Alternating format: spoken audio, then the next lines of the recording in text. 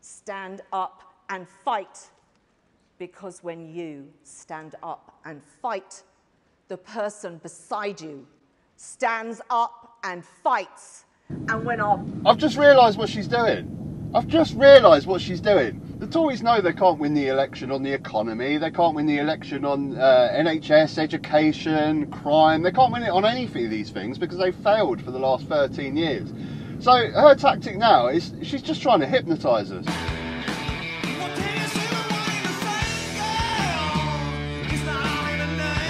Greetings and welcome. Now, you all seem to enjoy my last video on Suella Braverman's speech, so uh, let's do another one, shall we? Penny Mordaunt today. Now, I honestly I haven't seen this speech, but I have seen online people saying it's pretty bonkers, so let's do it, shall we? Now, I, I, I can't, I can't sit through it. I can't sit here and watch it like I did last time. Uh, so I've got to drive to Worthing, so I'm just going to play the audio while I'm in the van and, and, and give my thoughts. Kind of see it like, you know, like when you take a dump at work on the company time. It's kind of the same same sort of thing. I don't want to encroach in on my own time.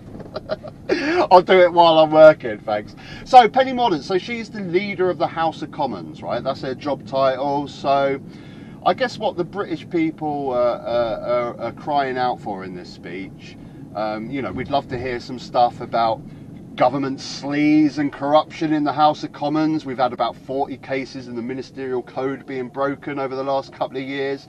Uh, you've got Owen Paterson lobbying, all these sort of things. You know, Parliament is just it's just a sleaze bag now, isn't it? So the leader of the House of Commons, you know, going forward in her speech, I want to hear what she's going to do to clear this stuff up. Bloody Lebedev, son of KGB agents being let into the House of Lords. And while we're on the House of Lords, that bloody um, what's her name, uh, Michelle Michelle Mone, that one that uh, just brought a, a, a, PPE contract out of thin air, just made a PPE contract out of thin air when it was time to give uh, government lucrative government contracts out, and then siphoned about 32 million out of that. Uh, for useless PPE that couldn't come in time. So yeah, I'd love to see what she's got to say about all that. Are we going to get it? I'm not hopeful. Whether you're a new member and this is your first conference, or you have been a stalwart of the party for decades, you have all had to stand up to bullies. You've had your offices graffitied, you've been trolled online, you've been called scum. Do you ever wonder why? Do you like ever like sit around and wonder why you're trolled online? Why people call you scum? Why thousands of people turn up at your conference to protest? Do you, do you ever just like sit there and think, you know what? Why? I mean, we're doing a good job, aren't we? Yeah, of course we're doing a good job. I mean, think of all the amazing things that we've done over the last 13 years.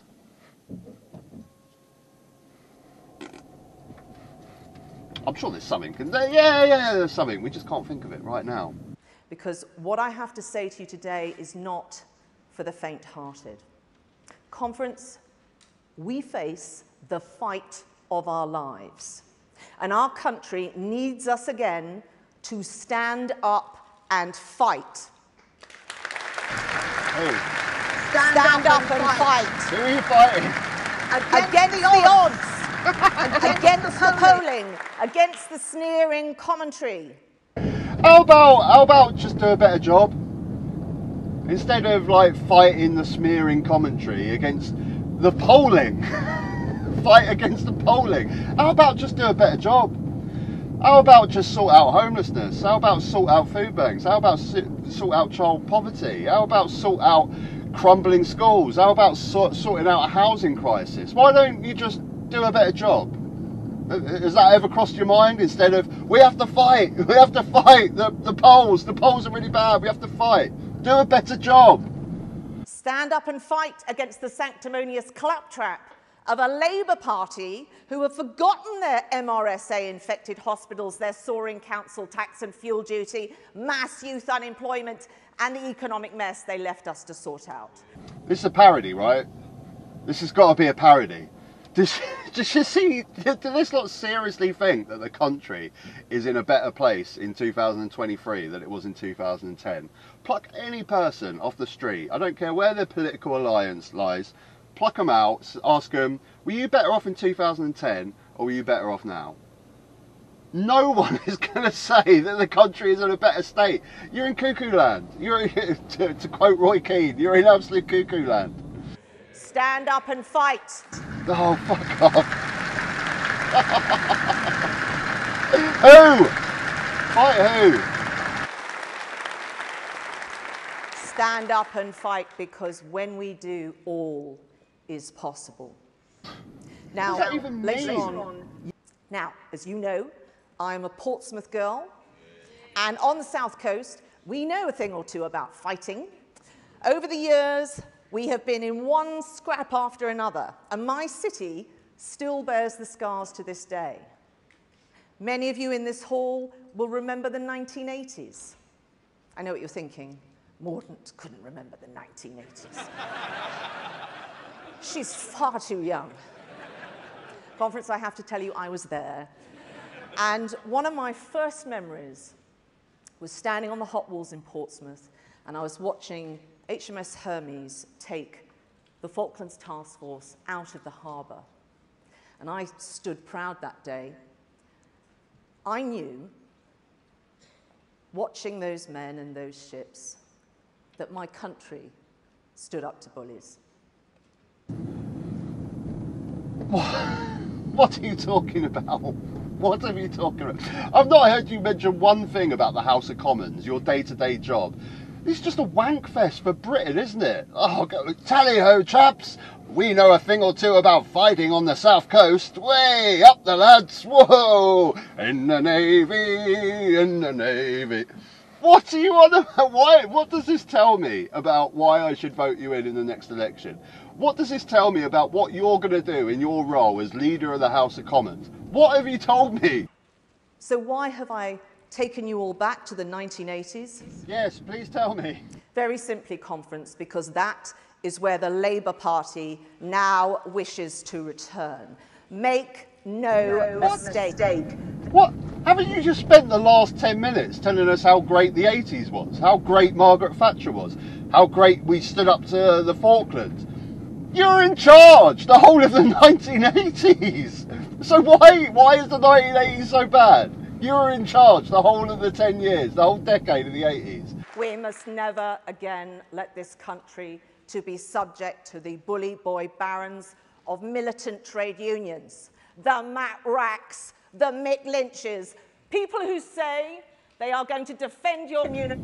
People who say, do you know what, rail workers are a bit hard up. I think we should get them a pay rise. People that say, do you know what, we really need to address this problem the fact that doctors and nurses are going off to New Zealand and Australia because they're paying them far more. You know, we actually pay them less than pretty much any Western democracy in the world. People that say that, Penny, basically. So if you remember nothing else from what I have said today, remember this. Stand up and fight. Oh, God. Stand up and fight for our families, for workers, for the protectors, for the wealth creators. Stand This is not even hiding it now. Pro- protect the wealth creators. Yeah, yeah, great, yeah.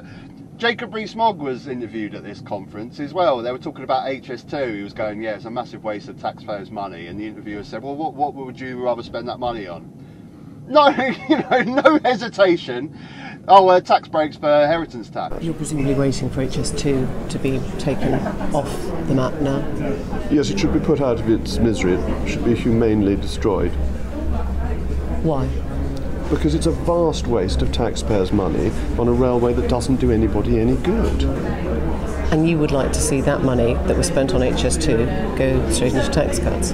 Yeah, I think that would be a very good idea. I mean, I think you could use that money to get rid of inheritance tax, for example. Yeah, so rich can pass on more money to their kids. Great. No, no hesitation, no, no shame, no nothing.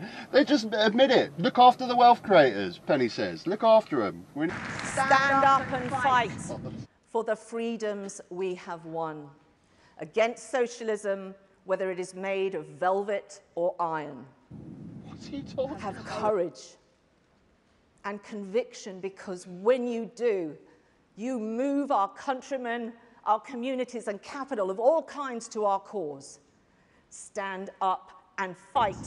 bonkers. Because when you stand up and fight, Who are we the person beside you stands up and fights. And when our I've just realised what she's doing. I've just realised what she's doing. The Tories know they can't win the election on the economy. They can't win the election on uh, NHS, education, crime. They can't win it on any of these things because they've failed for the last 13 years. So her tactic now is she's just trying to hypnotise us to vote for. that, that is what this is. Fight for your right. Fight. Fight for this. Fight. The person next to you. Fight. We will fight. We will fight. You're like, oh, uh, fight. Yeah, yeah, fight. Yeah. Uh, uh, yeah, X on the Tory box. Yeah, next election done. and when our party stands up and fights, the nation stands up and fights. And when our nation stands up and fights, other nations stand up and fight. And they stand up and fight for the things upon which the entire progress of humanity depends freedom. That is what conservatives do. That is what this nation does. Have courage. Bring hope. Stand up and fight. Stand up and fight. Who are we fighting? Who are we fighting? Stand up and fight. Stand up and fight. Who, who are we fighting? Oh, we're uh, we're fighting Labour. We're fighting Labour. Okay. Why, why are we fighting Labour? Oh, because um, you know they don't look after the wealth creators. Oh, right. Okay. Well, what what what will they do then? Uh, well, they'll probably just you know put that money into public services and stuff like that. Oh, okay. Um, don't we really need money in public services though? Like NHS in tatters, you know, uh, schools are, are literally crumbling from the walls. Don't we need that money? Yeah, but that's not actually the way to do it. The way to do it is you give like tax breaks to rich people, and then they'll like open up a few more Amazon factories. They'll create a few minimum wage jobs, and then people will pay tax on those jobs. And um, you know, once the Tories have taken their bit for their donors, there'll there'll be a few quid left over for the schools. Oh right, okay. Um, should we not just give it direct to the public services? Would that not be easier? No, no, it's not the way to do it. Not the way to do it. it's just bonkers. Oh, so I went off on a rant then. That, yeah, that that truly is bonkers. I mean, like I said, they, they must just be trying to hypnotise us to vote for him now because what the fuck was that? 20 minutes of garbage rhetoric. There's nothing there. There's nothing of substance. The same with all these speeches. This should be a job interview. You should be telling us what you're going to do if you're re-elected. I didn't hear one single thing about her job in the House of Commons. What are you going to do to clear up sleaze and corruption? Oh God, that was that was painful. If you enjoyed the video, click a like. subscribe if you're not subscribed. There'll probably be another video up there. You can check that one out as well. Till next time. God, that's that's that's bonkers. It's absolutely bonkers.